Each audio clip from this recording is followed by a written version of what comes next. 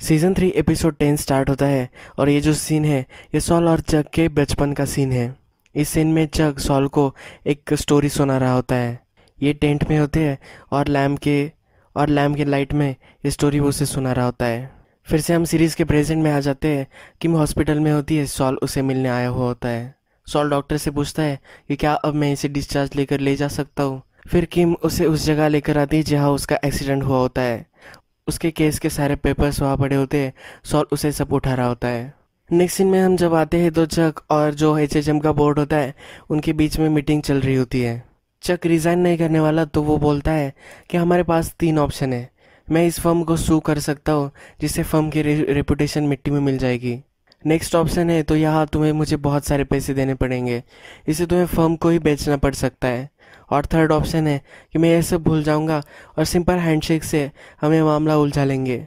Howard fill सबको बाहर जाने के लिए बोलता है। चक उसके पास आता है तो हावर्ड उसे एक चेक दे देता है। तब चक बोलता है कि तुम्हें कैसे दे सकते हो? इसे तुम्हें फर्म बेचनी पड़ सकती है। हावर्ड बोलता है कि मेरे पर्सनल फंड्स में से है। उसने कुछ लोन्स भी लिए होते हैं। तो हावर्ड फिर ऑफ़िस में अनाउंस करता है। चक को फिर वो सब अलविदा कहते हैं। जब नेक्स्ट मॉर्निंग उठती है तो सॉल ने उसके लिए ब्रेकफास्ट वगैरह बनाया होता है। उसे इलेक्ट्रोलाइज चाहिए होते हैं।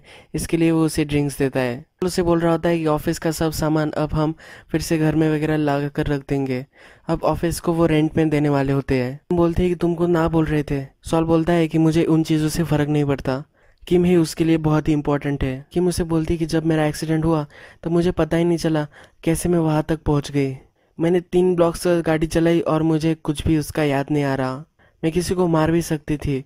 सॉल बोलता है कि तुम्हें इसकी चिंता करने की कोई भी ज़रूरत नहीं है। तुम अब यहाँ हो, यही इंपॉर्टेंट है। मैं अब सब ठीक कर देने वाला हूँ। नेक्स्ट सीन में हमें दिखता है कि नाचो के फादर के शॉप में सालामंका वगैरह सब आते हैं। नाचो नाचो सालामंका को अपने फादर से मिलने नहीं दे रहा होता, पर सालामंका उसके फादर को देख लेते हैं और खुद ही जाकर आते हैं। वो टेबल पर पैसे रखते हैं। नाचो के फादर वो सब पैसे नहीं ले रहे होते तो नाचो बोलते हैं कि हमारी पूरी फैमिली के लिए सोचो, वरना सालामंका हमें मार देंगे। फिर नाचो के फादर ये पैसे ले लेते हैं। सलमान का जब बाहर निकलते, नाचो उनसे बोलता है, ये सब फिर से नहीं होने वाला। मैं उनको समझा देने वाला हूँ। मेरे फादर कोई भी प्रॉब्लम नहीं क्रिएट करने वाले। किम घर पर होती है तो उसकी सेक्रेटरी उसके सारे जो फाइल्स होते हैं, वो घर पर ला देती है। जो उसकी अपॉइंटमेंट होती है, वो भी पोस्टपोन कर देती है। किम अब टेंशन नहीं ले रही होती किम हमें फिर मूवी शॉप में दिखाई गई है। वो दस मूवीज़ रेंट करती है, अब वो ज़रा एंजॉय करना चाहती है। चक के साथ जो भी हुआ, इसकी वजह से सॉल को बुरा लग रहा होता है। फिर वो सॉल से बोलता है कि जो भी कुछ हुआ, अगर मैं अलग तरीके से कर सकता था तो मैं कर डालता। मुझे और एक चांस मिला तो मैं हंड्रेड परसेंट किसी अलग तरीके से सब ये करूँगा। तक उसे बोलता है कि तुम क्यों कर रहे हो? सॉल बोलता है कि हम ब्रदर्स हैं। हमें एक दूसरे का साथ देना चाहिए। चक बोलता है कि तुम ये ट्राई भी मत करो। तुम हमेशा ऐसा सब करते हो, कुछ भी चीज़ें करते हो, जिससे लोग हर्ट हो जाते हैं। उसके बाद तुम्हें फिर बुरा लगता है और तुम फिर से उनकी माफ़ी मांगने के लिए आते हो। पर जो डैमेज होता है, वो हो चुका होता है। तुम सुधर नहीं सकते।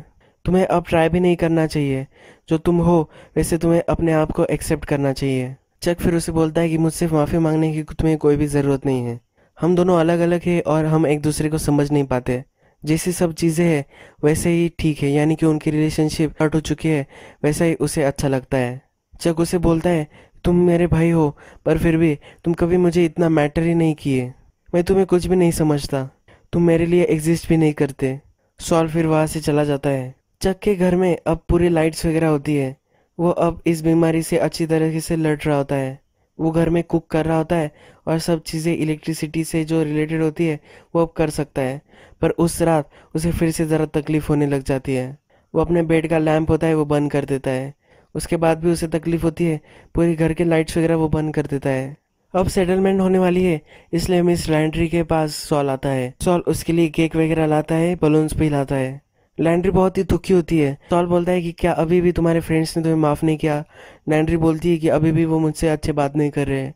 अब तो वो तुमसे अच्छी बात करेंगे।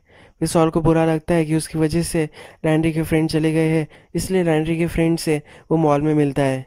उसे समझा रहा होता है, पर वो कुछ भी नहीं उसकी मानती। नेक्स्ट दिन चक इलेक्ट्रिसिटी वालों को कॉल करता है। उसका जो मीटर होता है, वो अभी भी ऑन होता है और और उसे लग रहा होता है कि घर में इलेक्ट्रिसिटी फ्लो हो रही है। जब वो इलेक्ट्रिसिटी वालों को कॉल करता है तो बहुत दिन उन्हें वे, उसे वेट करना होता है। वो सब पूरे घर को चेक करता है पूरे लाइट्स वगैरह वहाँ से निकाल लेता है फिर भी उसे लगता है कि यहाँ कुछ ना कुछ तो है। फिर वो एक हथौड़ा लेता है और वॉल्स को तोड़ने लग जाता है।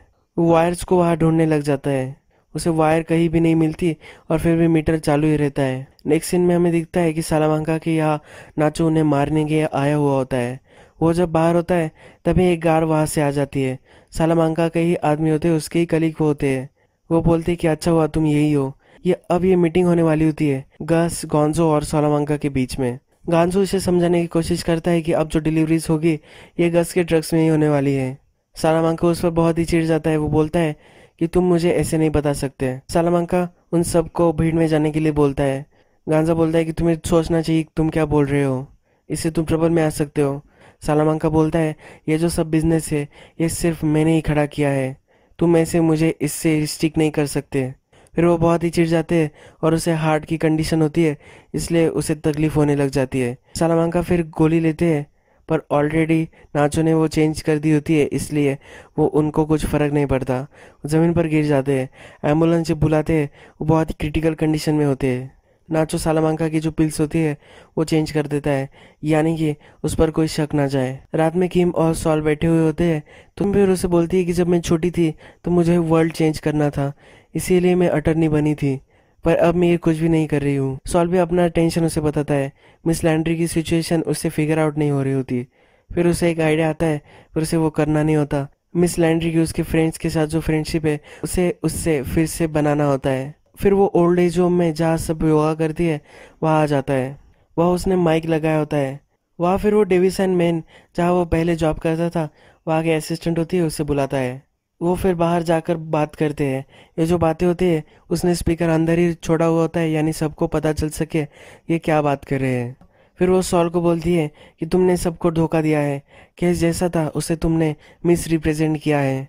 मिस लैंड्री को भी तुमने झूठ बोकर उसे हर्ट किया है। उसके सारे फ्रेंड्स को उसके खिलाफ तुमने कर दिया है। सॉल बोलता है कि मुझे इससे फ़र्क नहीं पड़ता। उसे बोलती है कि तुम कैसे आदमी हो। वो बोलता है कि इससे मैं अमीर हो जाने वाला हूँ। सॉल जानबूझ करके वो गलत आदमी है, सबको कन्विंस कर रहा होता है। फिर वो ओल्ड लेडीज़ उससे बहुत ही चिढ़ जाती है और फिर से लैंड्री को फ्रेंड्स बन जाती है।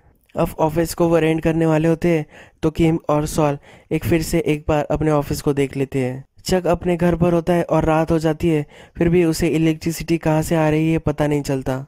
उसके पास जो लैंप होता है वो खुदकुशी करने के लिए उसे गिरा देता है। पूरे घर में आग लग जाती है। यही सीज़न खत्म हो जाता है।